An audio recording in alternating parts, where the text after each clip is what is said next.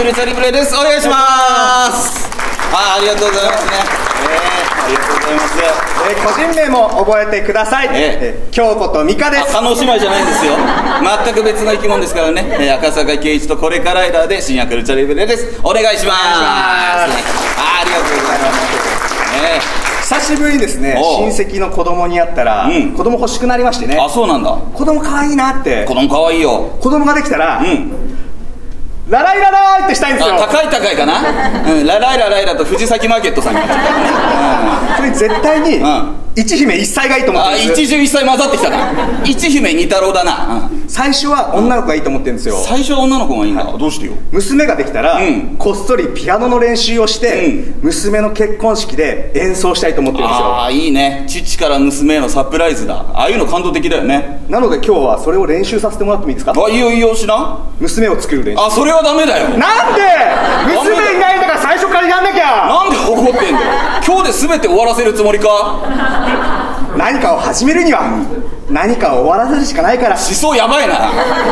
違うのよ。娘の結婚式でピアノ弾く練習したらいいじゃない。分かった。じゃあ赤坂さんそれを見ておかしなところがあったら訂正して、うん。それをしに来た。ピアノ弾きまアブロ行きますみたいに言わないで。うん。まずさいきなり弾かないでなんか娘へのメッセージがあった方がいいんじゃない？す結婚おめでとう、私の娘。私の娘ってなんだよ名前で呼んであげてよ。ヨネ。ヨネ？おばあちゃんみたいな名前。ヨネが生まれてもう70お年。ばあちゃんでしたわ。違うのよ。娘70ならこれからいら死んでる可能性高いからさ。もっと若くていいと思うよ。うん。カナ、うん。結婚おめでとう、うん。カナが生まれて27年。とうとうこの日が来てしまったな。いいじゃない小さい頃から世にも奇妙な物物語ばかり見ていたな。どんな娘だよそれ。まっとうに育ってくれて本当によかった。本当によかったよ。世にも奇妙な物語ばかり見て育ってまっとうに育ったのならそれは奇跡だ父さんな、ん。今日この日のためにこっそりピアノの練習をしていたんだ。いいよここで娘はびっくりするよ。ピアノというのは、うん。鍵盤楽器の一種で鍵を押すと鍵につながったハンマー。あピアノの説明いいのよ。みんな知ってるからピアノは。楽器も触ったことがなかった父さんが、うん。ピアノを続けてこられたのも他でもない、うんピアノ教室の先生がめちゃくちゃ美人だったからだ最低だな。そこは娘を思う気持ちとかじゃないのかい？あわよくば先生とエチエチな関係になりたかった。黙れよ。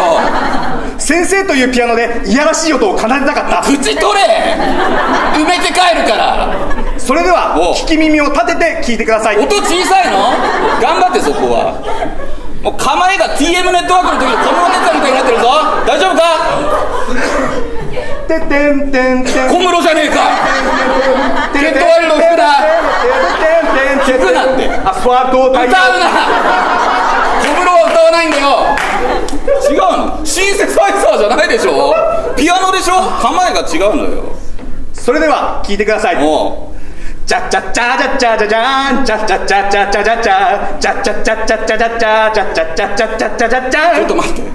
その曲何？